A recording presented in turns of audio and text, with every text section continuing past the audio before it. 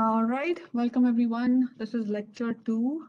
And before we get started, I have a couple of announcements. So the first announcement is that I posted a discussion link on Submitty if you've had a chance to look at that. Um, so that that actually counts towards your participation grade. Um, I don't know if you if you go to like discussion forum, you can see this thread and you have to either respond to that or not just like respond to that and you have to reply to somebody else's post as well, right? So at least one reply or response to somebody else's post and at least one of your own response. And then um, think about it like this participation is like 10% of your overall grade. That means like we'll have roughly speaking 10 discussions and also like one point per discussion. So that's how this counts, right? So that's the first thing. The other thing that I have on uh, like the goals for today's lecture, which is about homework one. So homework one is not released yet, but I'm going to release it today in the afternoon, right? I will talk about like what it is going to be about, what is expected, how to submit and other things towards the end of the lecture today.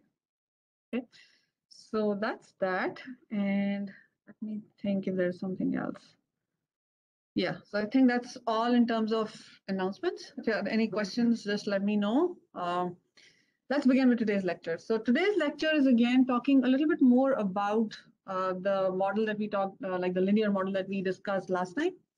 But today we are going to talk more about gradient descent. And the reason I'm focusing too much on gradient descent, and in addition to that, I'll also talk about the optimization algorithms that are used to uh, make the performance of gradient descent better, is because this is going to be the fundamental uh, like algorithm that we'll be using when we implement deep learning uh, networks, like neural networks um, specifically. So that's why we really need to understand how gradient descent works and then how can we optimize it and why do we need to optimize it in the very first place, right? So the, can somebody just like close the door? Thank you. Okay, so there is a, research paper is like uh, pretty popular in the research community that everybody cites when we talk about gradient descent. So the way I thought about like going over this is that I'm going to discuss that paper. So we are going to go into the details of like what are, what gradient descent is, what are the different variants of gradient descent, and how, like why do we need to improvise? Where do we need to improvise, and why we need those optimization algorithms, right? So that's what this like point number five is going to cover, four and five essentially. Now, in addition to all of this, and this is like a little bit different in this lecture, I'm also going to talk a little bit about like the tools that are used for data manipulation and pre-processing in specifically you, like if you're working with Python. And reason being that I know that there, there's like so much information out there, right? If you just like Google uh, data manipulation or you just Google pre-processing, there are so many things out there. So I just like wanted to narrow down your search to these things. So it's not like in, in any way an exhaustive uh, kind of demonstration of like how to do data manipulation or how to do pre-processing. But I'm going to just like introduce a couple of tools which I feel are more than sufficient to get started at least. And then obviously, as you start working through that, you will yourself uh, like uncover a lot of other uh, related packages, related uh, tools, etc. Right. So I just like wanted to get started with like because that is where you'll start your homework, right? So that's why I'm going to talk about data manipulation, pre-processing, specifically TensorFlow and NumPy. And I would say like in class, I'm just covering TensorFlow, a little bit of that. And then I'm going to point you to the resources where you can check what to look where and other things. And then there are two important uh, aspects of, especially when we are implementing algorithms like gradient descent, like using vectorization and broadcasting. So I'm going to talk a little bit about that as well. Okay, so let's get started. Okay, so the first thing that I'm looking at is data manipulation. And you will see right from your homework one, you will be acquiring data, right? And then you will have to process that in some way, right? So there has to be some starting point, like how do you get, get started with that? And one quick resource is TensorFlow, which is nothing but an open uh, source end-to-end -end machine learning library developed by Google. And that's like easily available for us to like for data pre-processing, for modeling, and in fact, you can do everything within TensorFlow. You can uh, do data processing, data cleaning, um, and then uh, even using any of the machine learning models, implementing them, getting the results using TensorFlow, right? So here is a link that I've provided. And if you just like go to this link under resources, you can get like all the information about TensorFlow. And why am I pointing you to this resource? Because this is going to be specifically useful uh, when we start working with deep learning and um, like neural networks specific, right? So this is something that we'll be using throughout. And um, like before we jump into what like tensors are, I'm also like, I know I wanted to introduce NumPy, which is like another Python library that's used for data preprocessing and data cleaning and other things. But I thought that maybe you can um, like try, you can try discovering, if you're familiar with Python, I'm sure you will be able to discover that yourself and work with that yourself. And so I've provided a link to the official uh, NumPy uh, website. There it is. If you just like go to documentation and you can get started, I would say like just go to this like NumPy quick start. If you're not familiar with this, you can get started right from here, right? So this is going to help you not just like work with the like the data sets that that you like start working with. And then uh, it will help you organize them. It will help also in like data visualization to to a certain extent. So my recommendation is like go to this quick start link and at least like try some of the basics. For example like creating a numpy array. What is a numpy array? It's, it's nothing but but like a vector right? So we treat it as a vector. It could have dimensions. So what what does those dimensions mean? And so on right? So I'm guessing everybody is more or less familiar with this, but still, I just wanted to let you guys uh, like go and play with this because I know that this is going to be useful when you start working on your homework one, right? So that's the first thing. And the good news here is that if you decide to use like either NumPy or TensorFlow, and if you're working in Google Colab, you can use both of them. If you decide to use TensorFlow right from the beginning, you have like all functionalities in TensorFlow as well. So that's why I decided, let me just like introduce a little bit of TensorFlow and then go from there. If you decide to switch between both of them, I'm fine with that. There is like nothing um, special, except that, that that special thing about TensorFlow is going to show up when we start working with huge data sets. And I'm going to talk about that as well, right? So as I said, go and take some time. I would I would say it would hardly take like a, an hour or so, less than that, if you just like go over this and try to understand what NumPy arrays are, how to create them, how to manipulate them, and other things. And if you're like, uh, if you encounter any issues, just like feel free to come to my office hours or feel free to email me. All right, so let's move on to TensorFlow. As I said, you can use either one of them. So let's begin with this. And so what is a tensor? Like where does that term come from?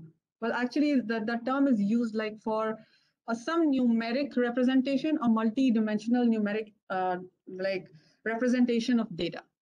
That's where the word comes from, right? So now that multi-dimensional uh, representation, numeric representation could be anything. It could be like a vector. It could be a matrix. But then when we think about vectors and matrices, right? Vector is like a series, right? It's Usually like in a single like list kind of a data structure, you have something, some, some value stored, right? That's what you think when you think about a vector. And then there are like matrices, then, then you have like the different rows and columns, right? So that's what you think about when you think of a matrix. But think about like the data sets that have like more than like any n dimensions, right? And then there is something that's not the concept of axis that we will be using a lot when we're working with data. So the good thing about tensors is that it could be like any dimensional. It could be like any n dimensional. So basically they've come up with this idea for tensor being any dimensional object, a data object, and it allows you to save um, save the, like create those objects and manipulate them right? So high level and why do you why do you need like the, these uh, multi-dimensional objects? Well you'll be working with different types of problems right? So let's say you, you're working on a natural language processing problem. There is no numeric data available. There is no format. You're just like getting some text from somewhere right? Or, or maybe like i'm speaking and you're, you're trying to record that and then then using it to recognize things so eventually what you have to do with like whatever form of data is available, you'll have to convert it to some numeric format. Right. And so that's where like the, the, the idea of like, that's why we are so much like obsessed with this idea of like dimensionality, numeric representation, because eventually all the machine learning algorithms work with numeric data and not the textual data that you have. Or, or maybe like, let's say I'm working with images, right? You know that images have like these pixels, and so we are converting them to some numeric representation. So basically what the point I'm trying to make is that every machine learning algorithm works with, like most of the machine learning algorithms work with numeric data. And at one point or the other, we will be converting everything that we have into numeric data. And once we have done that, we will be saving them in one form or the other in the form of an array, either as a, as a NumPy array or as a tensor. Right, so that's the fundamental idea. That's something that should like you should remember, and and like whenever you're working with a new problem, that that is the the flow that should come to your mind, right? Okay, so then here is some like uh, what all could tensors be? As I said, they could be numbers themselves. It could be an image. It could be text, and we will see how we can how we like reach to that point right? From text to numbers or from images to numbers. So there, there's a process for that. But that's why these are so useful. Okay. All right. So then the question arises, well, I can work with NumPy as well. So where, why, like what is the big advantage of TensorFlow and what is the advantage of like creating tensors rather than NumPy arrays? So the real, I think, benefit comes uh, from the hardware side of things, which we are not too much bothered initially because we're not working with that much data, but eventually we will right? So there is this like concept of like GPUs that's like pretty, that's catching up real fast. So these are graphical processing units. So again, this is coming from the hardware side of things.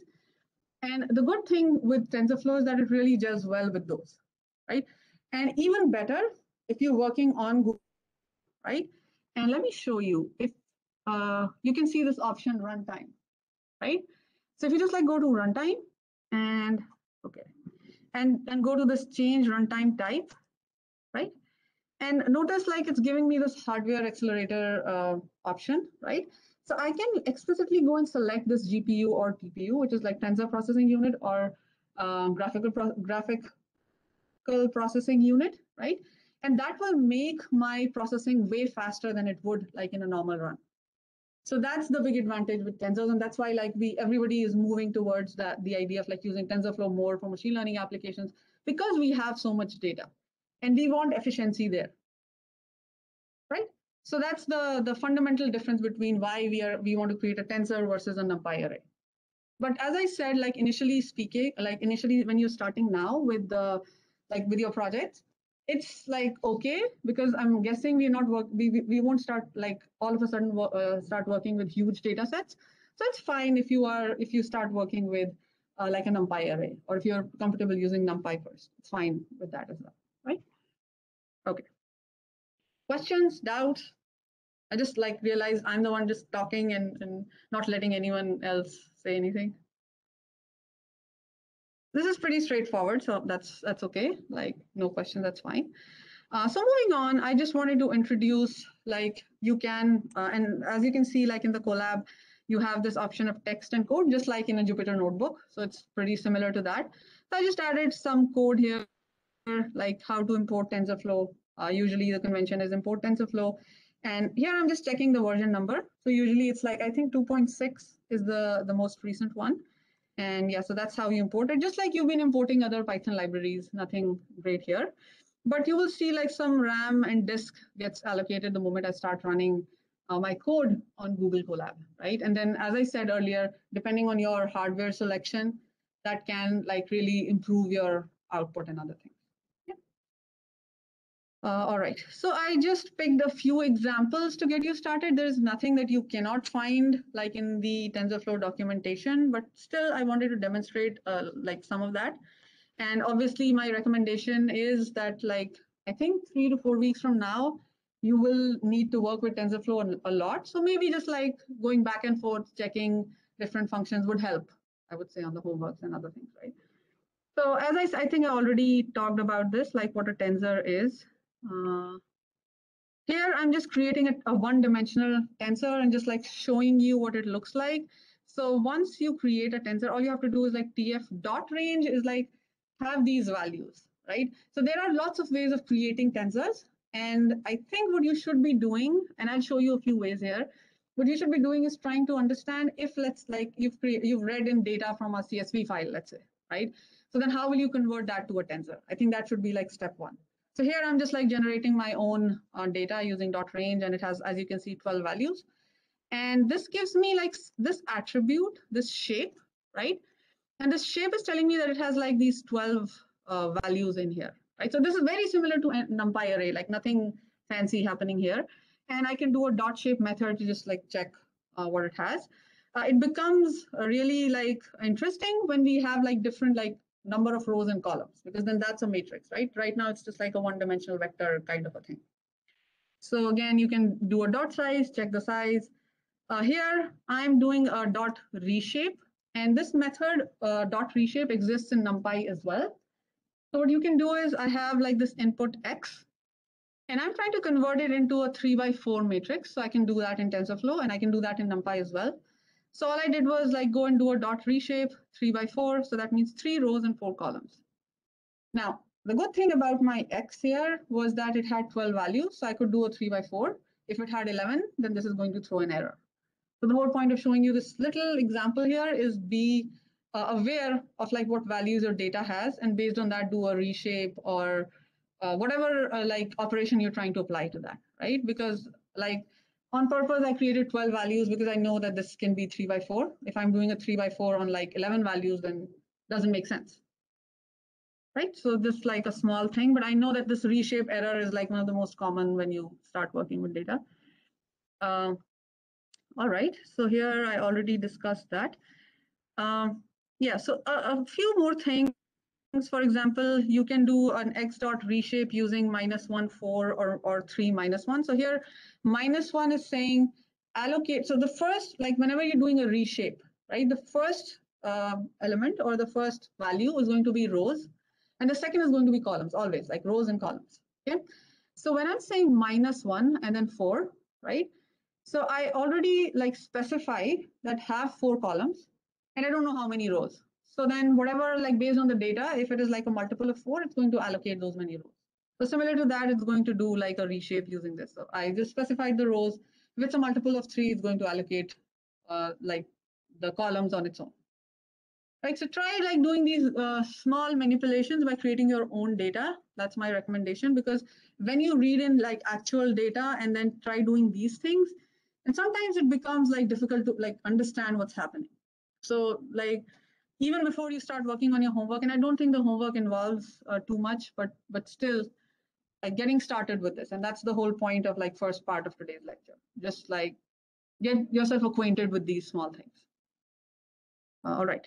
Sometimes uh, what we need, and in many of the algorithms, let's say we need some initialization parameters, and usually we, we begin with zeros and ones, right? So one quick way, both in NumPy and TensorFlow, is that you can do this like tf.zeros or tf.ones and then specify these dimensions. Now notice like there are three dimensions here instead of two, right? So that's the good thing about uh, TensorFlow. So it's allowing me to, so I'm saying here tf dot zeros, and let me just comment this first, just the zeros. So create two uh, of these matrices. That, that's what it means, right? So two of these, basically two of three by four uh, matrices, right? So let me just like run this, right? So the, the two of them with like dimensions three by four, right? So similarly, I can create ones. I want to create it. I, I want to uh, create three of these with dimensions three by four, right? So if I just like run them, I get that. Okay, so that's that. Uh, sometimes you want to de like derive uh, data from different distributions. So please go and check this like tf dot random. So i I've given just like one example of like, let's say we are sampling from a normal distribution with some uh, input, uh, like this is the standard normal. So please go and check in the TensorFlow documentation how you can create, like how, how can you extract data from different distribution types and how can you change the parameters of the normal distribution, right? So this is the standard normal, zero mean and uh, one standard deviation, but you have like other options as well. So again, this is an important aspect of any data science project or any machine learning project that you have to sometimes just like sample from a distribution, right? So it's very easy, a single line of code. That's how you can do that. And you can do the same in NumPy as well. Uh, okay, so here I just wanted to show you that there is something that's known as tf dot constant. And what that does is that it takes the input as some constant, like a Python list, for example, here, and converts it to a tensor. So why was this operation important? That's important because maybe let's say I read in data and I created a data frame, let's say, and then I wanted to convert it to a tensor. So you can do that using dot constant. And then there are other methods as well that are more efficient. Again, the best I could do in class is just like give you one example of each, and then you will have to go in and, and see what works with your data. And that's the whole point of like this class, right? Okay, so that was a quick intro to TensorFlow. As I said, I already pointed you to this link. Please take out some time to go through that because that's going to be like really helpful when we work on our projects. Okay. Uh, all right. So what next? So the other things, two important things that I wanted to uh, talk about was operations when we are working with these uh, either NumPy arrays or, or TensorFlow. That's the first thing. And this is important because if you're too much like used to like Python way of coding, sometimes we are inclined to use loops and other things for every element. And I just wanted to show you this is like a ten, uh, if it's a tensor or a numpy array, a lot of things are very easy here. So you don't have to worry too much because like the first time I started working on this, I was like, okay, I'll have to go and write a loop to get every element and do something with it, right? So you don't have to do that because most of the operations are already like done element wise. For example, here, uh, I created like the first tensor here, x equals tf dot constant, just gave a list, it created a tensor, right? And then I created another tensor, y, and just like another list, right? And what I'm trying to do is I'm trying to add like element, I'm, I'm trying to do some element wise addition. For example, I want to add 1 to 2, 2 to 2, 4 to 2, 8 to 2, right? And similarly, I want to do subtraction, multiplication, division, and exponentiation. So the way this works here is that these operators work element-wise, right? If you remember in Python, if you're doing like a list plus a list, what happens? Anybody? It concatenates, right? So there's, there's a difference here. If this is a tensor, it's not going to concatenate, but it's going to do an element-wise thing. Why? Because it considers every element as an important, like, as a point in that like vector or matrix, right? And so that's why it's, it's going to do an element-wise addition, suspend, and you can see the results here, right? So look at the first one, it just added them, right? And then the second one, it just like sub subtracted every element. So now here's the thing. Let's say if I do something like this, right? Uh, they don't have the same dimensions. And so what will happen to the last one, right? Let me just like run this. Right, it's, it's going to throw an error. So this is something that we have to keep in mind again, the whole point of showing you this is that if you had a large data set and you were trying to do this operation, and let's say there was a difference in dimension, you're going to get this error, right? So just like be aware that if there is a dimensionality difference, this is, it won't, like this operator thing won't work anymore, right? So yeah, this, this should work now.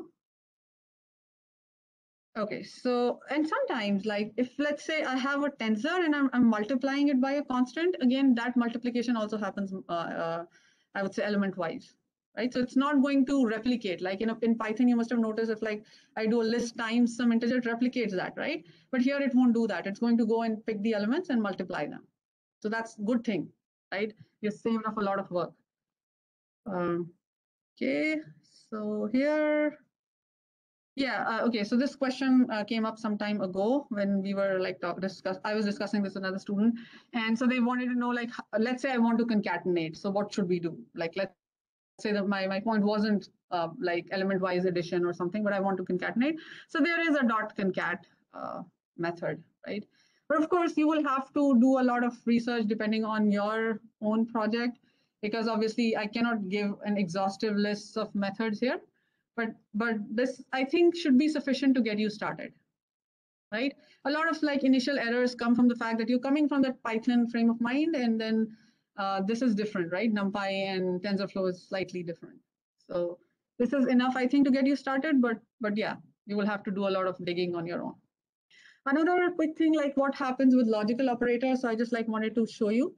If like the dim dimensions of x and y let's say two tensors were the same again it's going to do a, a an element to element wise comparison, right? So here it returns a true or a false based on like every element. If you did the same to a list in Python, it would return a true only when like every element matches, otherwise it won't. But here it's doing an element wise. So you can see like these are all false. Some of them are true, right? Because they match. So uh, for logical operators, also the same rule applies essentially. Okay, so last but not the least, broadcasting mechanism. I'm sure you must have come across that term a lot and it will be used a lot uh, going forward. So both NumPy and TensorFlow use broadcasting. And again, uh, what does that mean? Uh, this, I think, will, uh, I can just, so again, this is similar to what I said about like element-wise uh, operations.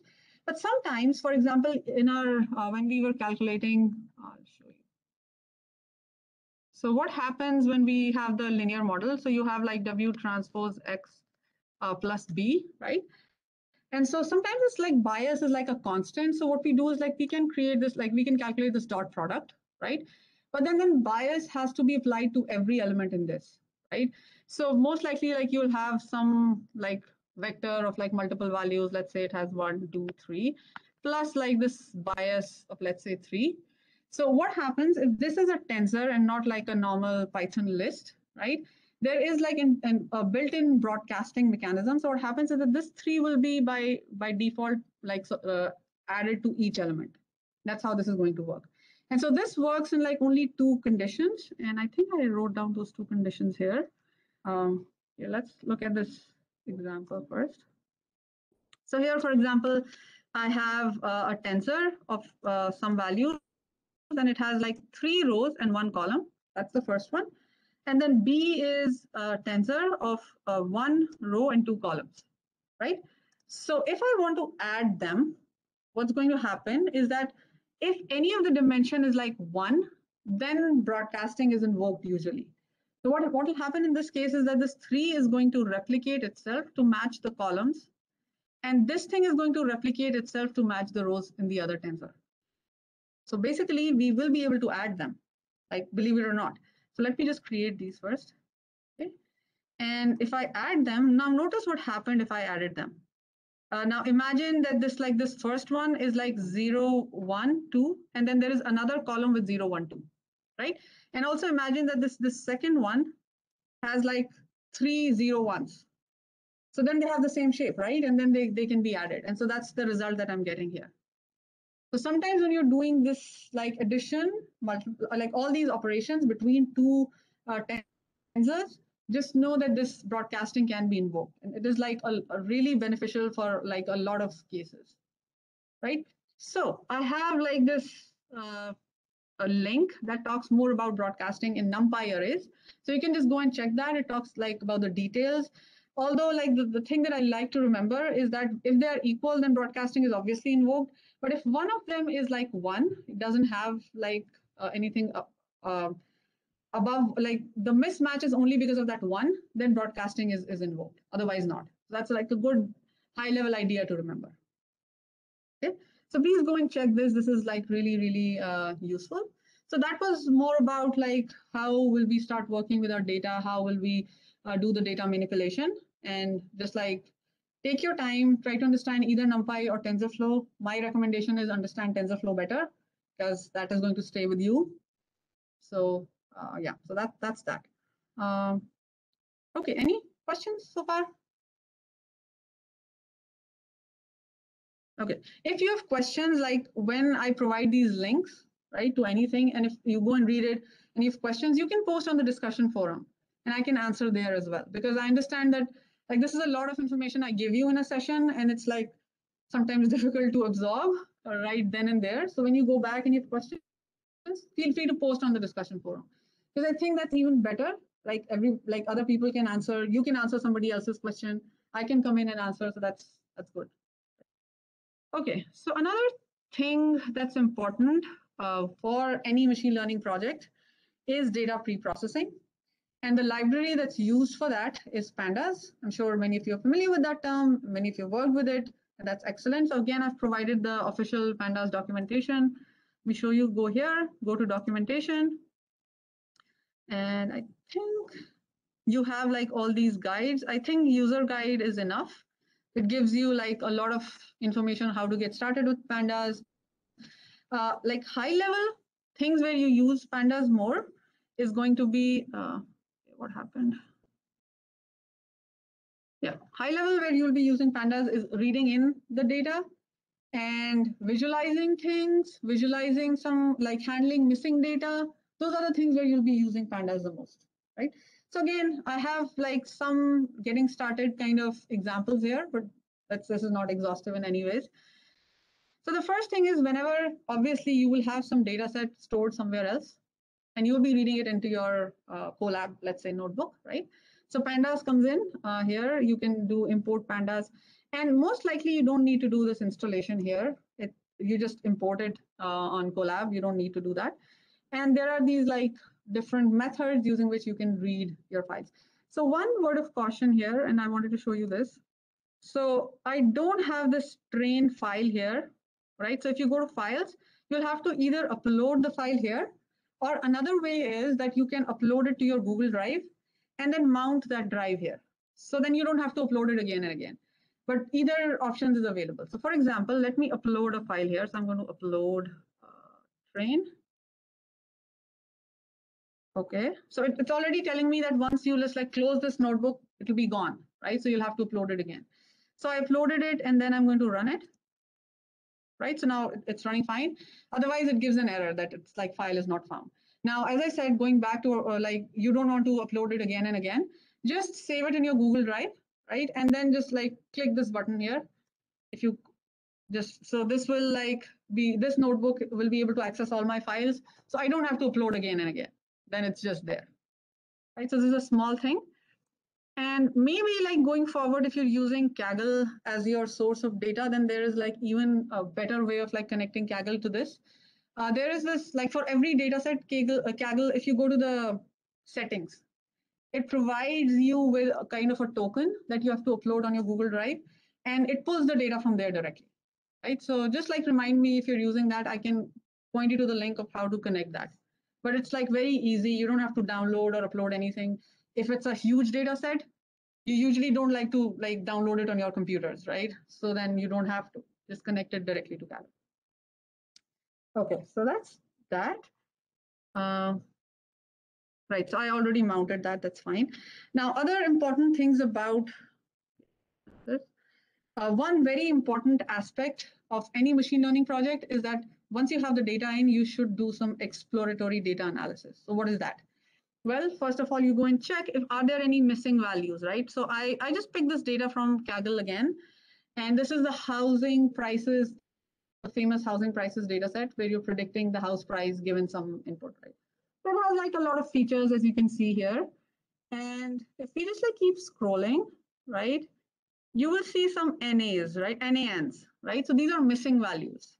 And if you're using this like this features in some way, right, if you're using that, uh, then this NANs are going to interfere with your processing and, and other things, right? So there are many ways of handling this missing data. For example, like this is a categorical uh, data, uh, uh sorry, feature type, right? So it doesn't have like numeric values. So there are many ways of handling that. There is something that's known as one-hot encoding that sometimes you do. There are different methods of, of dealing with this, right?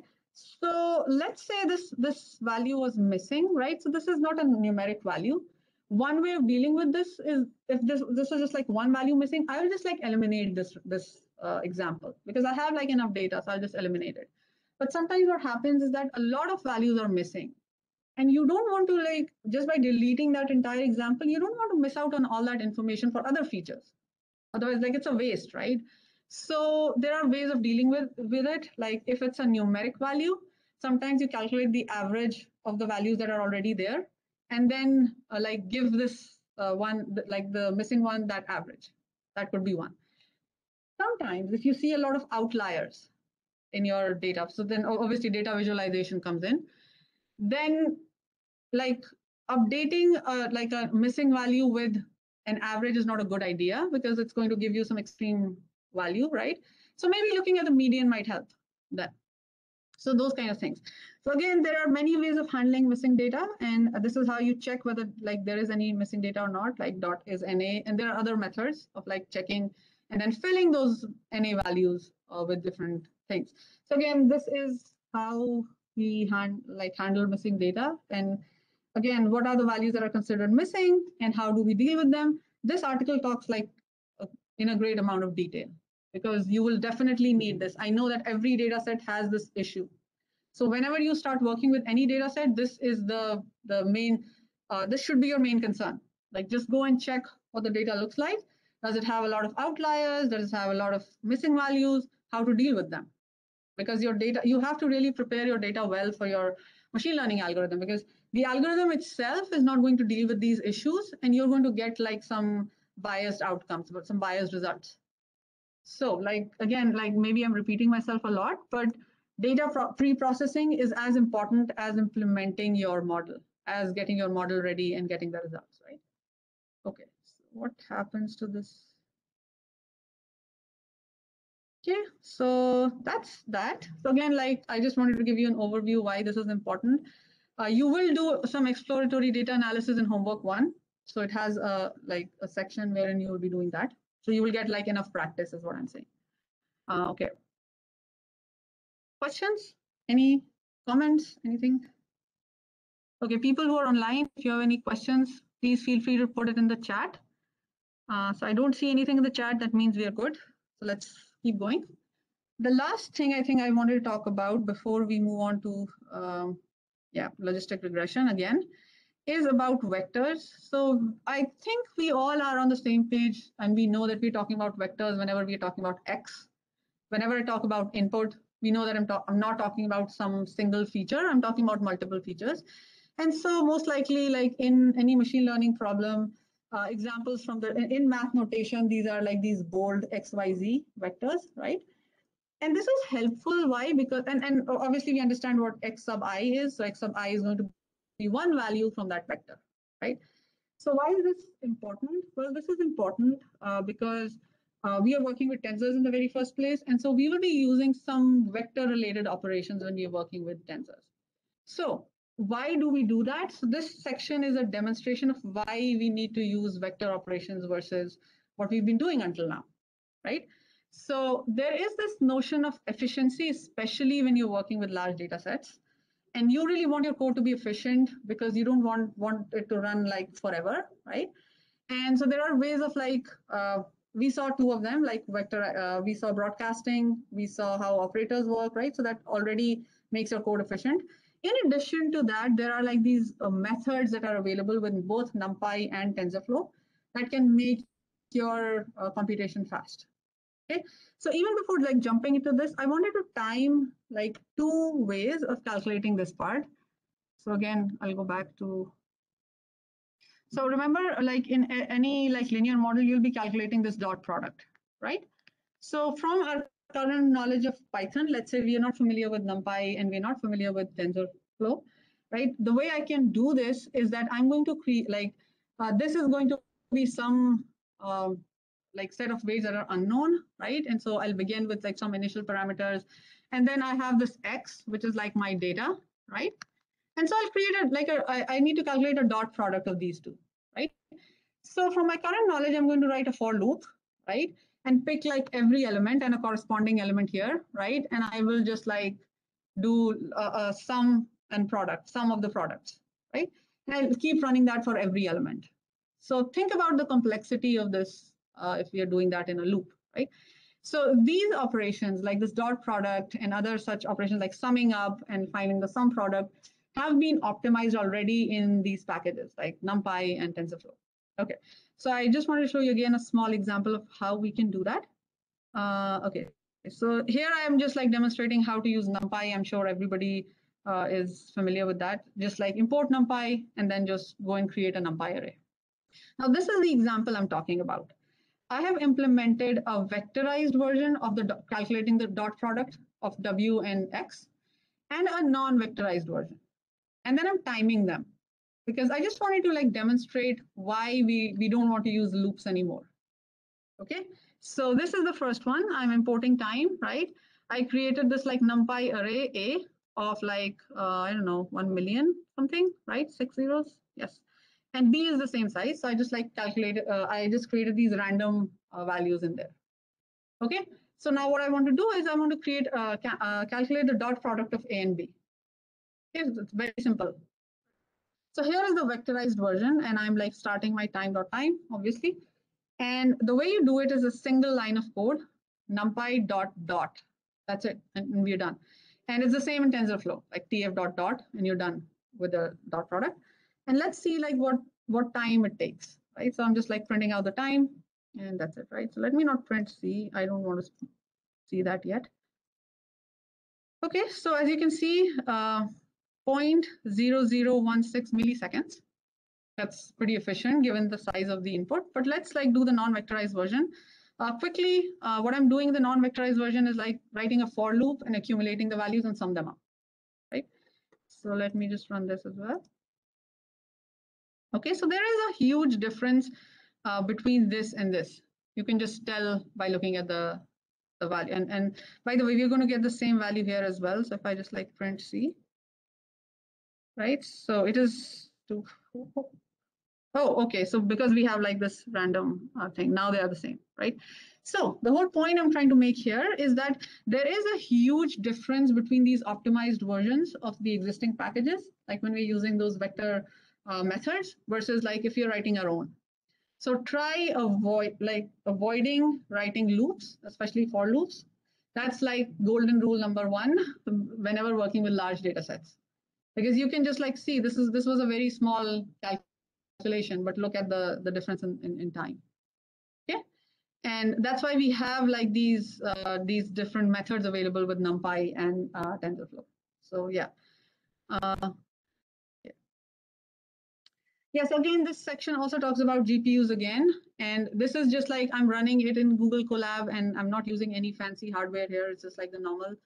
And still we see a lot of difference, right? And so with GPUs, you're going to see that it is going to be a huge advantage to us when we start working with like huge data sets, right? So again, we will keep discussing these GPUs as we go further and when will we need them? That's also an important question, but right now we don't but I just like want to keep talking about it so that like when you start working with it, it's not like a surprise. Uh, it doesn't come as a surprise. So basically, the fundamental idea here is that it, it, it offers a parallel uh, processing like way uh, behind uh, like behind the scenes. That's that's what makes it so efficient. Okay. Uh, all right. Again, there is this article uh, that talks about difference between GPU and CPU whenever you have time, just go and look at it. As I said, for the next three to four weeks, we need not worry too much about it. So that's that's that. All right, so because I talked about this like vectorizing and these like these different dot uh, functions that are available with NumPy and TensorFlow, let's actually look at like how can we use that in like logistic regression and how will it make it like really simple. Okay, so the like this this is just like copied from the previous lecture, so we already know what we have to do here. So this is this is going to be my predicted value. Uh, sigma is the sigmoid, right? And then based on the values, I'm going to get a probability value, and then I'm going to predict given like some historical data, right? So this is my loss, and this is my cost function, right?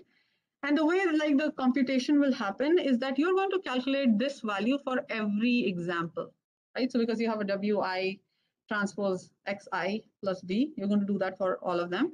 And then you're going to save them in a vector A. So this like A1 is for the first one, A2 is for the second one, AN is for the last one, right? So this is actually giving you a high level idea of how you should be implementing logistic regression. And this is important because you will be doing that in your homework one. So this is how you should like proceed. And then once you have like these values, obviously you will have to find, you'll have to minimize the loss, minimize the cost, not the loss, right? And to do that, right, so to implement that, you will have the cost function and then you will implement gradient descent. So again, uh, you have the input x.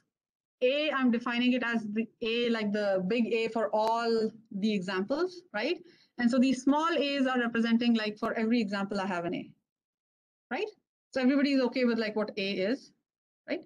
And then we already talked about the cost function for these type of problems where you're predicting uh, probabilities, right? So this is the log loss function, the cross entropy, sometimes called the cross entropy loss. And so this is the cost because I'm like taking the entire data set, right? The average of that. So now what, what gradient descent does? Just like quickly refreshing our memories, what does gradient descent do? Well, I have this like loss, uh, this cost surface, right? And I'm trying to find the derivative of the cost function with respect to the parameters that I'm trying to predict, right? Or estimate using the data, right? And so in my, like this problem, those parameters are the weights, so that's the W, right? And the bias, right? So from your knowledge of um, calculus, if you go in like differentiate this function with respect to the weights and with respect to the bias, this is what you get. And you can just like go and verify. But here I just wanted to demonstrate that this is what's happening like step by step, right? Now let's say I don't have any packages for like, there is a scikit-learn package in Python that just like does scikit-learn and then import something and then logistic regression and I'm done, right? Let's say I don't have that. And uh, I'm pointing you to like homework one because that's what I want you to do in the very first place. I know that that package exists, but like the first time you're implementing logistic regression, go step by step, do every step yourself. And of course, like you can use the dot uh, methods that are available in NumPy and TensorFlow. Okay, so these are the steps. I'll find the derivative, right? And once I found the derivative, I need to keep these calculations somewhere, right? Because I'll be using them for the update rule. Okay, so here, like I've commented out this code, and this is like high level telling you what exactly you'll be doing when you write the code. So this is not like everything, but this is enough to give you an idea of what you will be doing here, right? Let's say you have this sigmoid function that already exists. So I'm assuming you already wrote how to calculate sigmoid. Just like write that fraction, right? That's that's sufficient. And then the input the sigmoid takes, uh, if you go back here, is this. W transpose X plus B. That's the first thing you'll be doing, right? And you can do it in NumPy by doing an np dot dot. Dot dot just calculates the dot product of W dot transpose. So believe it or not, it's as simple. If W is like a NumPy array, right? You can just like do a dot uh, uppercase T and that will calculate the transpose. So you don't again have to worry about anything. And then by broadcasting, this B will be added to this, right? So that's one in one step, you got this, right? You got your A, right?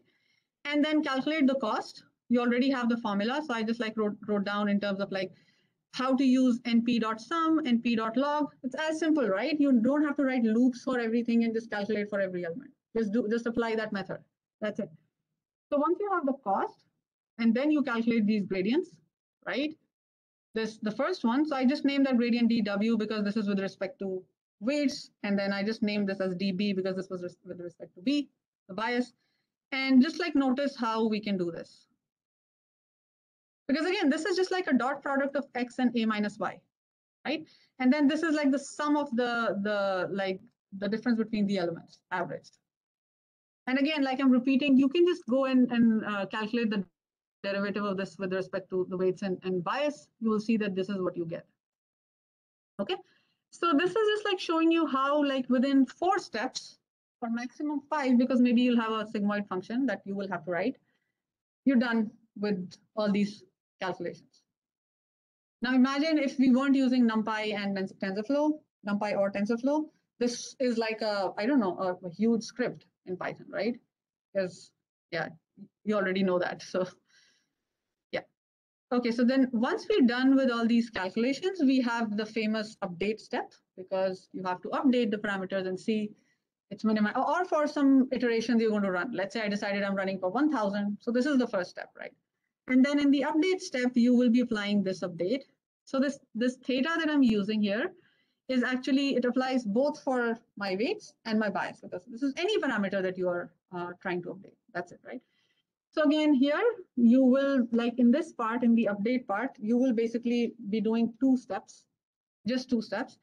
Uh, that is like you will be based on your learning rate and whatever DW and DB you calculated here, you will be up updating your weights and bias. That's it, right?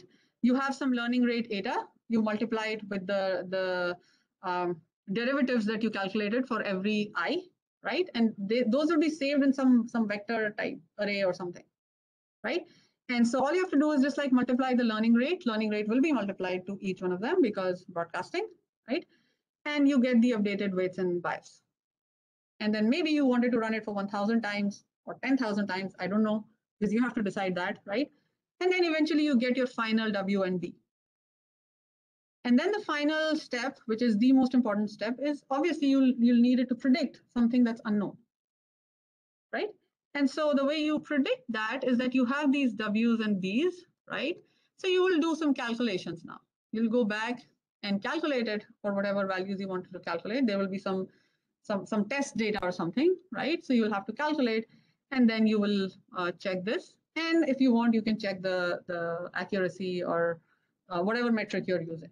So all of that, those details are given in the homework, but I still wanted to like go over these steps so that you're not like stuck with like writing the entire script because we don't have to do that anymore, right? It's, it's very simple now as we move on. Although we are not using um, any package for logistic regression yet. We will be using that going forward. So that is just like three to four lines of code, not even this. But the first homework really like asks you to implement these steps because we really want to understand gradient descent well. And reason being, then only we'll be able to understand neural networks well. So that's why I want uh, everybody to like understand this. Uh, okay. Questions, doubts? Okay, this is a repeat from the previous lecture, so uh, I don't think it should be that hard. But if it is, as I said, feel free to uh, post your question on the discussion forum and I can answer that. So that's, I know that you're going to have questions when you start implementing. So then feel free to post your questions. Okay, one thing to remember that like going forward, right now we are using an activation function.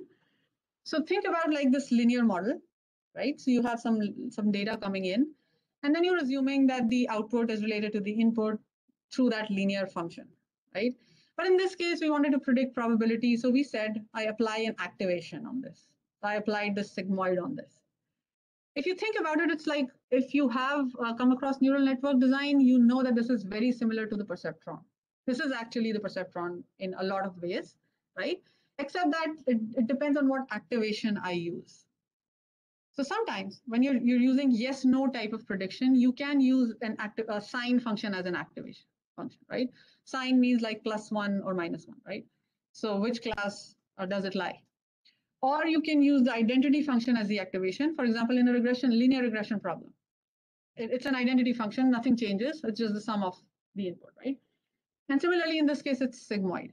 Now, we are not restricted to only these three choices. We have more, and we will be using other uh, activation functions when we start working with more complex problems. So this is a nice article that talks about like these activation functions. And again, you don't need them right away, but you will need them going forward. So this is the linear one. Uh, this is like the uh, identity one. This is the sigmoid, right? And so we know that we can restrict our output within zero and one, so that's why we're using sigmoid. Now, it's not just like uh, uh, sigmoid is a popular choice for logistic regression, not just for this, but for something else. And that is related to our loss function, right? And what did we do with the loss function? Like when we were uh, doing the, just before the update step, yes. Exactly, right? So then think about this like uh, whatever activation you're using, it has to be differentiable. Otherwise, it's going to create issues with gradient descent. And the thing is that gradient descent is the most popular uh, algorithm used to like optimize these, these problems, right? And so it becomes difficult, especially if you're using the sign function, for example.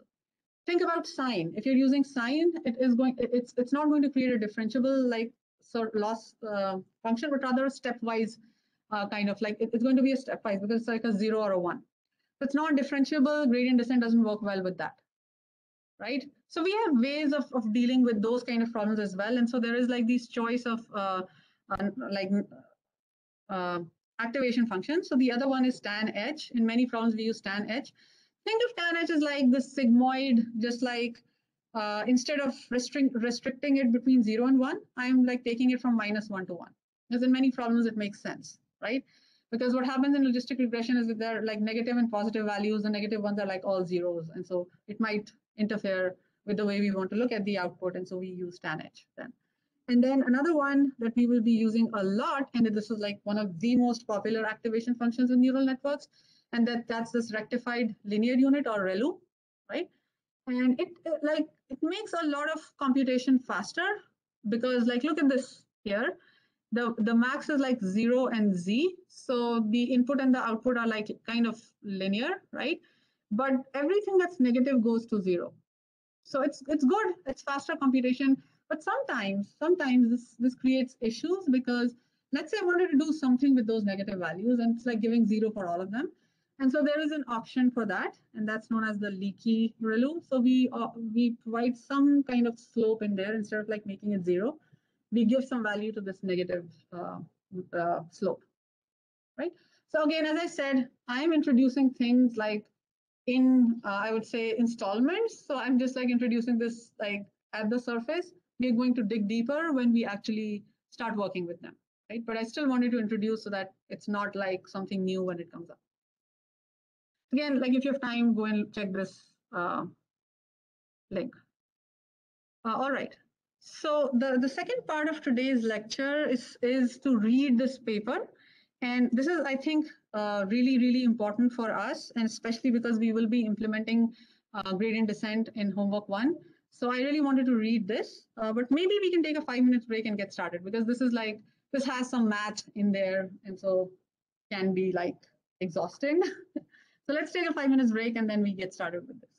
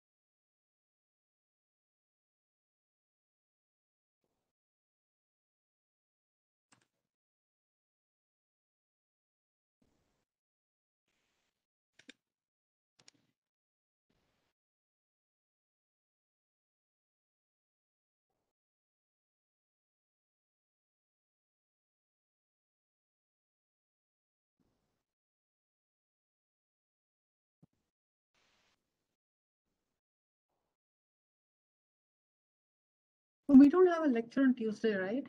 Tuesday is Monday's schedule. Okay, so that's going to be a problem because I have something. Okay, I'll try to. Uh, because we, uh, I decided to cover tree-based methods next week, but then we have only one lecture next week.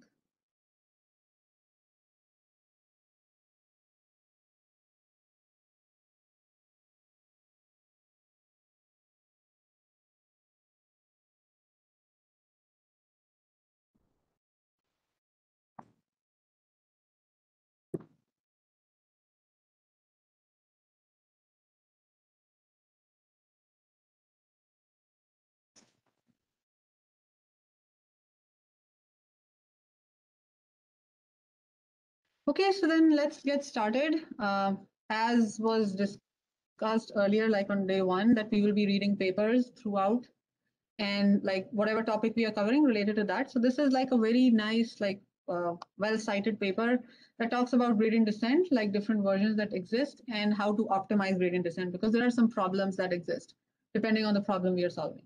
Okay. So uh, we know that gradient descent is an optimization algorithm that's used to find, especially like for convex optimization type problems, we are able to find um, a global minimum or a, a, global maximum. Now, as I said, if you're using packages like scikit-learn, you don't really get to see gradient descent as much because it's like just embedded in your logistic regression model and, and it just like comes up there, right? So it's used as a black box most of the time. It's really uh, important for us to understand uh, this because we are not just like calling a package and then like, using it to get results, but we really want to understand why we are getting these results, right? So we need to understand gradient descent. And also because this gradient descent uh, forms an inherent part of all uh, deep learning packages that you'll be using going forward, right? So of course, I won't ask you to implement gradient descent from scratch for deep learning, but it's easier to do that for logistic uh, regression. And then once you understand that, I think that's that's okay, right? And then that's it. So as I said, it's like one of the more popular uh, algorithms for optimization. It's a way to minimize any objective function. So let me make it bigger. Okay, so it's a way to uh, minimize any objective function, which in our uh, problem, in any machine learning problem, is to minimize the cost function. That's our optimization problem, like regardless of whatever problem we are solving, right? We really want to come close to the, the my predicted values should, should come as close as possible to the actual values, right? So that's why this is so popular. And the way we do that is that we, we try to minimize uh, the, the, the cost function by uh, estimating the parameters or updating the parameters in the opposite direction of the gradient of the objective function. So then again, the big assumption here is that there is convexity somewhere, the error surface or the, the cost surface is uh, convex, right? And we are like within that uh, like space, the parameter space, we are updating such that we're moving in the direction that is negative to the gradient, which means we are moving towards the minimum, right? And of course, like you visualize that, just think of that as like a convex surface and like you start at any point and then iteratively you're moving towards the minimum. So that's the fundamental idea, right? Uh, okay, so there are different versions of like, or different variants of gradient descent. The very basic one is the batch gradient descent that I talked about in the very first lecture. So what exactly are we doing in this like batch gradient descent or sometimes also known as the vanilla gradient descent, right? What we're doing in the update rule is that I'm calculating the gradient. So remember these two uh, equations here in our problem, right? So these are the gradients that we need, right? So what we're doing here is that we are calculating the gradient for the entire data set. Because here what you're doing is this J is our L actually. So in this paper, they're, they're calling it J, but it's L uh, in the notation that we've been using, right? So I'm calculating the gradient for the entire data set in, in, in just like once, right? And so once I calculate this, when I do this update, this is just my one iteration. So I moved one step further by taking the entire data set, calculating the gradient for that cost function, and then moved in that direction, updated. So as you can tell, if this data set was huge, let's say it has like 1 million examples or, or instances, then this is like pretty inefficient. Like for one iteration of your gradient descent, you just like process the entire data set and then you're moving forward, right? So this is, that, that that's the whole problem here. And so this is the pseudocode for this, right? So for loop, for the number of epochs, we call them epochs, the, the number of iterations that you wanted to run for. And every time you do that, you, you make this update for the entire data set. So this batch gradient descent is a very slow version of gradient descent. And usually in practice, we don't use it anymore. This is only for theoretical purposes. So what do we use, right? So one thing that we've been starting, like many other, many algorithms uh, many models use a stochastic gradient descent or SGD, right? So how is it different uh, from batch gradient descent? Let's look at it. So it's different in the update rule, right? So look at this update rule here. This is my update rule, right? Theta equals theta minus uh, this learning parameter, learning rate times the gradient, right? And notice like I'm, I'm, I'm saying that this gradient is a function of x of xi and yi. And remember this i is pointing to the examples. So what I'm doing here is that I'm picking one example, calculating the gradient of the cost with respect to that example only. And then whatever update I get, I make that update for, for the entire problem and then move. So of course, this will make my computation faster because I'm just doing it for one example, right? But then you can think of this as like this data set is huge, obviously. And so I might not be like in, in the very first few iterations or first 100 iterations or some, some number of iterations, I might not be moving in the right direction, right? But eventually I do. And this has been like proved in many other uh, papers, in many other research papers, that it does it does really well in terms of like finding the actual uh, minimum, right? But the issue here is that it fluctuates a lot. Now you can tell why it fluctuates a lot because many times it just like moves away from the global uh, minimum because I'm finding the gradient for one example only, right? So it doesn't have the information for the entire data set. And so that's why there is a lot of like fluctuation, but like performance wise, it does really well. It, it performs really well as compared to my batch gradient descent right? So this is an improved version, regardless of like how much it jumps. And also like uh, this this is known to find better like uh, minimum values. So for example, it gets sometimes it does not get stuck as much in the local minima as the uh, batch gradient descent. Right? So it works really well that way. And here is the pseudocode for this. Might be helpful when you're implementing your own stochastic gradient descent, right? Okay, so this actually shows what really happens in stochastic gradient descent. Now look at like how it is fluctuating, how it is like moving away. So we have to come come like really low here, right? So this is like, let's say the, the loss that we're looking at, right? So we're really trying to minimize that. And these are the iterations here. And look at the fluctuations that happen. So sometimes it just like moves away from the minimum, but eventually it's known, it's, it has shown uh, with different data types, with different data sets that it does achieve a good result. And you will see that yourself when you implement it uh, in, in your homework. So that's that. And then obviously there is one that's known as mini batch gradient descent that takes the best of both worlds. So it's not taking the entire data set at once, but it's not taking just one example at once. It is taking batches, right? So then what will happen is, and this, this equation actually tells us that, right? So just notice this gradient is calculated with respect to the parameters. But notice this i and this this y, right? So they these are like slices of data. That's like batches of, of, of your data set. So of course, this will help in reducing the fluctuations that you're getting here. It makes it more robust, it makes it more stable, but it's not bad in terms of like the time it takes to uh, converge. Why? Because obviously I'm not taking the entire data set. And the usual, I think, is to take between 500 to 200 uh, sized uh, like batches and then go from there. And so you randomly pick batches from the data. So sometimes obviously you'll have like repeated values, but then that that sometimes helps, sometimes it is a challenge, but usually it helps, right? And then you just like keep updating the parameters and then you eventually reach the minimum. Sometimes there are two versions of like minim, um, this ba mini batch gradient descent. Sometimes you pick the uh, examples in a sequence. That's also done many times, but sometimes it's like randomly picked. So either ways, you'll have to compare depending on the problem that you're working on. So these are the three major, I would say, um, variants of gradient descent. Uh, the first one batch, then the second one stochastic, and the third one is mini batch gradient descent. And uh, there are other vari variants also there. And if you just like go and read research papers, you'll see that there are others. But these are the, the basic ones. The rest of them like build on these. Okay. So then coming to the challenges with these, especially the stochastic gradient descent and also the mini batch. So of course we have solved one issue of like efficiency, right? We have solved that with these. But then there are other issues that exist. For example, what about that learning rate, that eta that exists? Whether we should be taking it, taking that as a big value or a small value, right?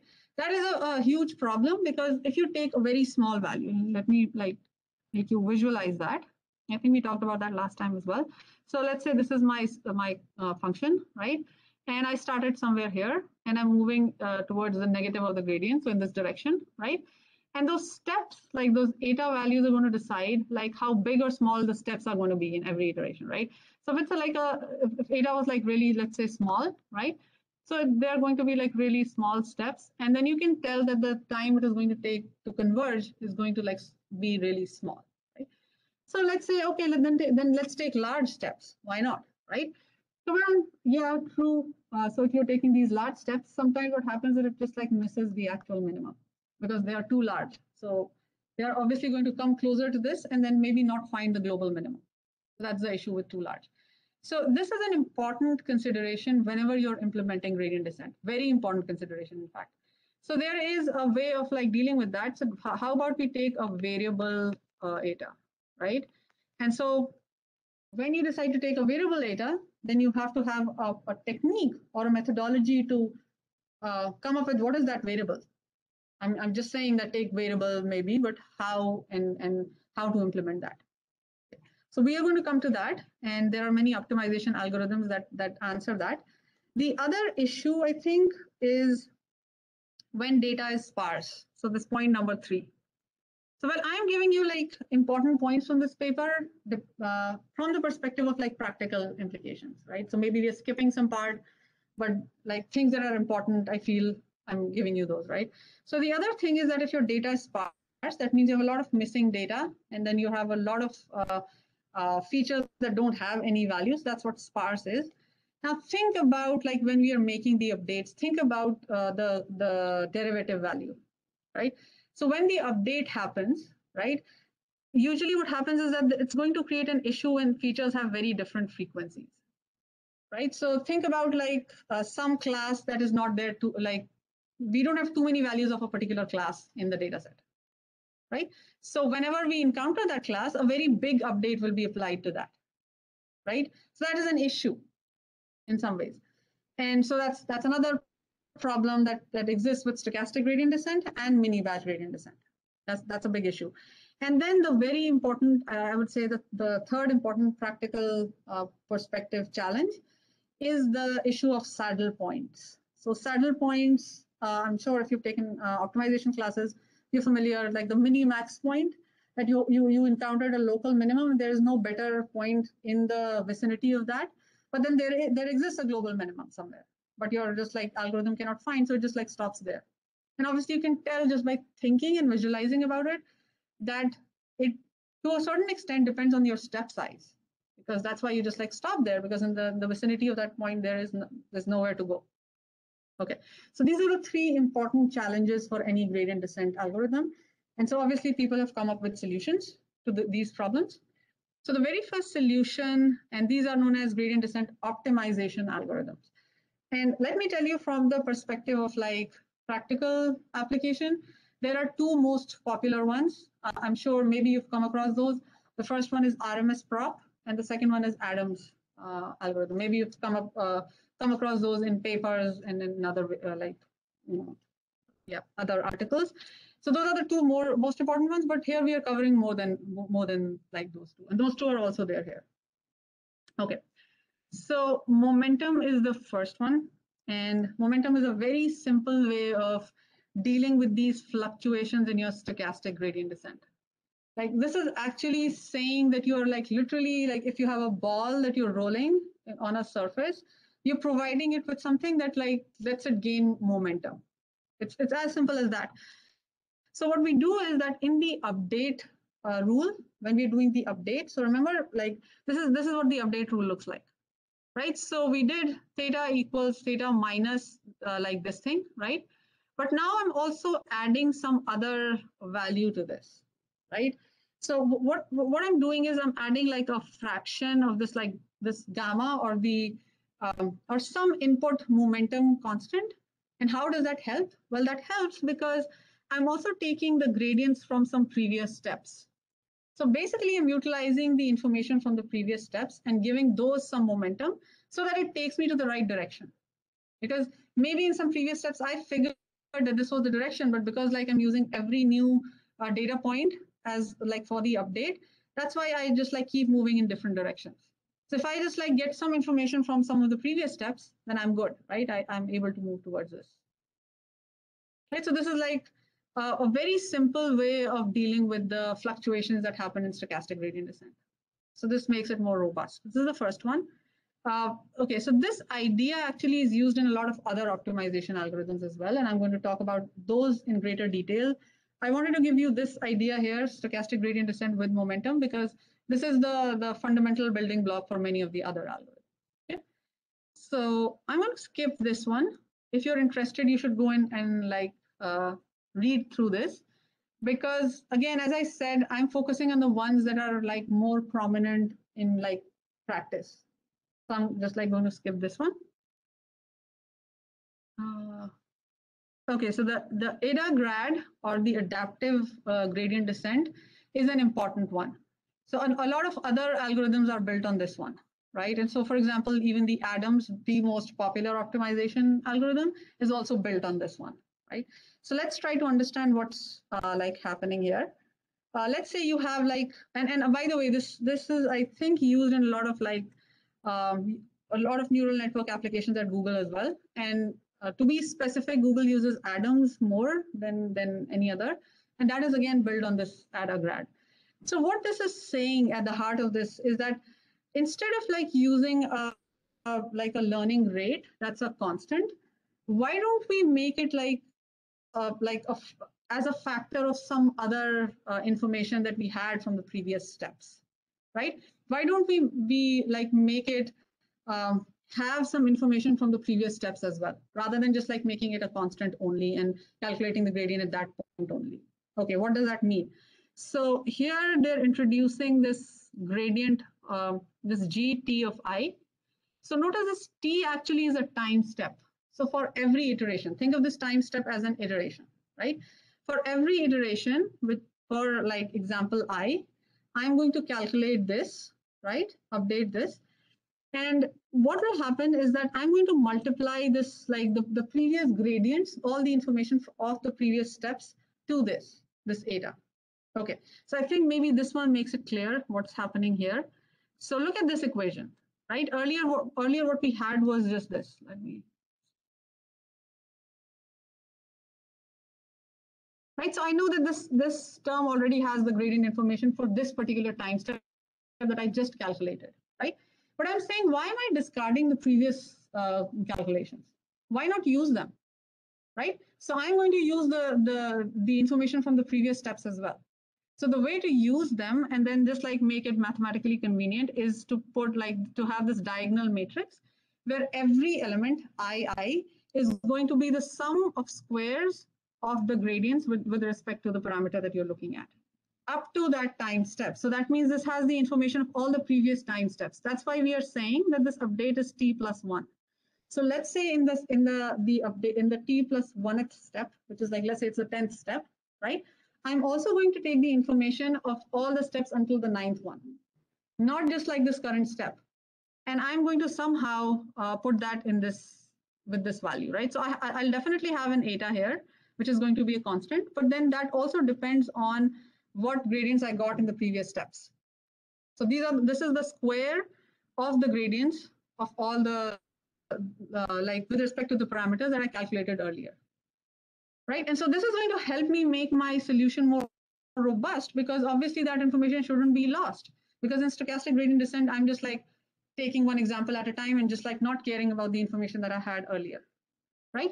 And as you can tell, that this is the square of the gradients. And so that's why we have a square root plus this term, because sometimes we can get like zero gradients, right? And so we don't want a zero division error. So we have like a small epsilon just to uh, deal with that, right? And this, the square root is to deal with, like we have, if you think about the dimensionality of everything, this is a gradient, right? This is a gradient. And then this is the square root of the square of the gradient. So they're pretty much the same thing, right? And so nothing changes is what I'm saying here, right? So this is like the, the most basic way of dealing with this. Of course, this has issues. Of course, this thing has issues, and we're going to like discuss those as well right? Because this is talking about like how will we do a matrix like multiplication between this GT and T. I think I gave you a high level idea of how that is happening, right?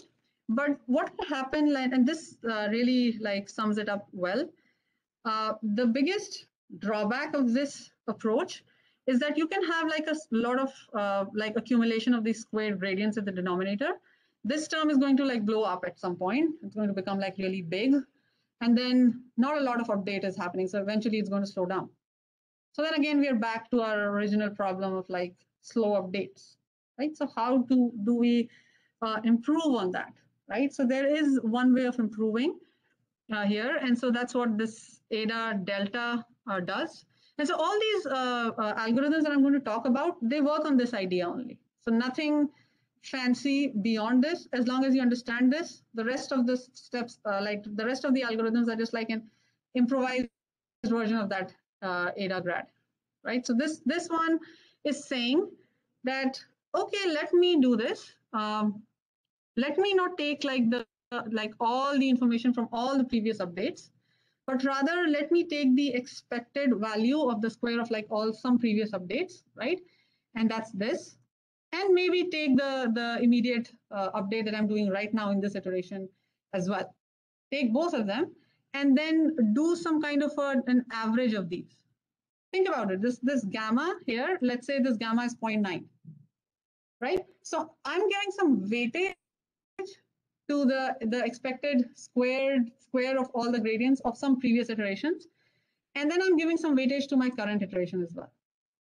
Think about it, just like take a, a second. And so instead of like just taking this, the direct sum of squares of all the previous iterations, the gradients, all those gradients, and like the current one and multiplying them, I'm going to give some weightage to, to each one of them. And now it depends on me what weightage I'm going to give. Maybe depending on my problem domain, I'm going to give more weightage to my current one and less to the previous ones, or maybe more weightage to, to the previous one and less, uh, less to the current one, depending on the problem. But this is like a weighted average of all the previous gradient, gradients plus the current one. That's it, right? So this actually helps a lot. And this gamma is known as the momentum term. So it's usually set to 0.9. For most problems, it works well with, with that 0.9 value, right? So that's what we're doing. Instead of like this g sub t, I'm going to do the expected value of like g squared t, which we just defined here, right?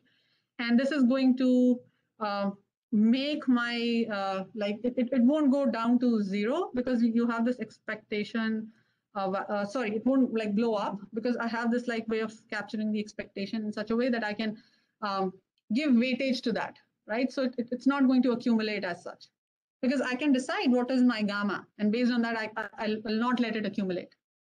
Thinking about, just think about that. And then if you like mathematically speaking, this is nothing but the root mean squared error of the gradient, right? And so that's why that's where this RMS comes from. So instead of like writing this entire big equation, we just like call it RMS. That's it. I know that's a lot of information. It's a research paper. And that's why I'm giving you high level. We are not going into the maths uh, and the details of that. I'm just like giving you a high level idea. And that's how we'll be reading research papers in class.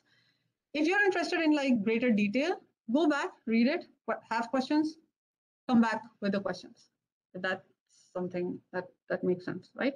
Because like the first time you look at it, it is going to be overwhelming. So if it is overwhelming, that's absolutely normal, so to say.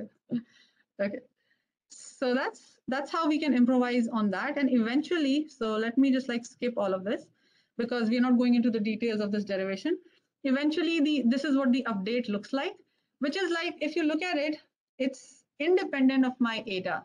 It's ind independent of the eta value. So I don't give that. Rather, I based everything on the previous gradients and the current gradient. That's all this is talking about, right? And as I said, like in the beginning, when we started discussing these algorithms, I said the most popular one is RMSProp, uh, which is like very similar to what we did here.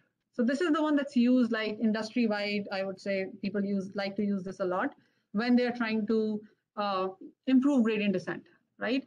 And believe it or not, this was proposed by some instructor in a Coursera class. So yeah, that's true. Uh, but but yeah, it is. I I would say like technically speaking, it's an improved version of this like AdaDelta, right? So we are directly using the expectation of this like g squared t, which is g squared is all the gradients up to step t. And this expected value is calculated using the weighted average, right? So you give some weightage to some previous uh, gradients and you give some weightage to your current gradient. That's all that is. to this, this equation here. So this is known as RMSProp, and it's uh, already shown in like many of the research papers show that if you use a value of gamma equal to 0.9, it is shown to, to do really well. Now, how is it like helping us in the, the variable eta problem? Well, it's helping us because I can just like keep eta to a given already like this learning rate to some 0.001. But depending on the previous gradients, this entire this entire thing is going to change. The second term is going to change. And so that's how it's helping us. So basically, we are saying my eta or my learning rate or my learning parameter is um, is not a constant because now it's changing depending on like what were the gradient values from the previous steps. Okay, again, high level, if you think about it, it's like move faster. So this what this is saying is move faster when you're away from the minimum and move slow when you come closer to the minimum in like plain English. Yeah. Yeah. So these are some of the important optimization algorithms. The final one that I'm going to talk about is the Adams. And of course, you're going to come across this term a lot because this is the one that's that that is being used um, in the industry and in like most applications. Now, the only thing, and this is Adam, this is known as Adams, which comes from adaptive moment estimation, and not if you were thinking that the inventor was like, or, or, the person who came up with this was Adam. So that's not the case. so this is, that's what I thought, like when I saw this for the first time. Uh, okay, so this is adaptive moment estimation. That's where the term Adam comes from. Now, it is using the same logic that we just talked about. Take some information from the previous gradients and use them now to determine your learning rate. It is using the same information, like the same idea. The only difference here is that this, like this algorithm is saying, why are we only using the sum squared uh, mean of the previous uh, uh, gradients? Why don't we also look at their variance? Well, because we can right? So we are just like taking the sum of the squares of the means of like, if you look at it, I'm just taking the sum of the squares of all the gradients. That's kind of like the expected value of that. So think about it, it's like the mean of all those, right? That's what the expectation is, like the mean of those values. So this algorithm says, in addition to that information, also look at the variance of all those. Why not take the variance? And so that's where this moment comes in, right? So it's, it's, saying, uh, why not like take this exponentially decaying average of past square gradients, which is this, right? And also uh, exponentially decaying average of past gradients, like similar to the moment, like this one. So take the gradient itself, which is GT, and take the square of the gradients as well. So if you don't get the math right right now, that's fine. Just think about like getting information from the previous iterations. That's i think more than sufficient. Getting information from previous iterations. That's all this is doing. But it's also looking at not just like the the square terms but also like it's also looking at the the actual gradients as well right so how does that help well when i'm going to do my update step i'm going to this is how the, the estimation is done and then i'm going to use this estimate here right? Okay, so if you're getting overwhelmed with the math, the, the good news is that there are packages that you can directly use to implement this. But it's important for you to understand what's going uh, behind the scenes, right? So if on the homework I ask you to use one of these optimization uh, frameworks, uh, you will have to go and figure out how to implement, like for example, Adams or RMSProp using some package. That's that's the worst case scenario. But I really want uh, you to understand what's happening behind the scenes. So high level, it makes sense that you just like remember that we are not discarding any information that we have from the previous updates, but rather we are keeping it, and that is helping us optimize this um, gradient descent, if that makes sense. Okay, I think I gave a lot of math and that like I can see everybody tired. So uh, I'm going to skip like this AdaMax because it just builds on this uh, Adams. So again, like maybe reiterating like RMSProp and Adams are the two algorithms that I feel everybody should understand really well. So those, those are the two that you must go back and maybe reread this or maybe like look, look at more resources of like uh, understanding these. Uh, all right, so questions, anything? I already like uh, made everybody so tired with the Okay, I don't see any questions for from people who are online. So let's go back. There is another paper which obviously will not be reading here, but I'll just like give you an uh, idea of what. So this actually, this paper actually talks about what happens if you have like sparse data and how to deal with that, right? So I'm not going into the details of this one. This is just like an extra reading. If you're interested in how to work with those like low rank matrix factorization things, you can just go here and, and just like give it a quick read. So this is just like in addition to what we already know. But the paper that we just covered, this is something that you must save and keep it uh, because this is like um, this is like really useful information. This is a good resource to, to keep. Uh, all right, so that's all I have actually for today's lecture. Uh, as I said earlier, homework one will be released sometime today, and I'm going to like make a post about it, right? So you will get an email. And of course, if you have questions about the material that we covered in class today, or if you have questions about the homework, uh, you can put that, put that on the discussion forum. Do not share your code, do not share your response, but you can ask questions, of course, right? And yeah, my office hours are Thursday 1 to 2, so you can attend those.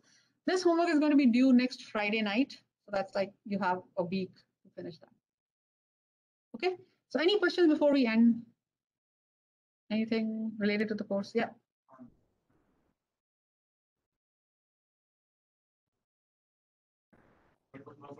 Yes, yes. So I have like, uh, I'll have instructions on the homework document itself, like how to submit. Uh, because you will be submitting on Submitty. The thing is that like the grading rubric and everything can be created on Submitty. So I'll have to grade there. But all you'll be doing is providing a link to your like project and I'll just go there and I can just grade it. Yeah. Other questions? Doubts? Okay then. Thank you everyone for joining and see you, I think Friday, right?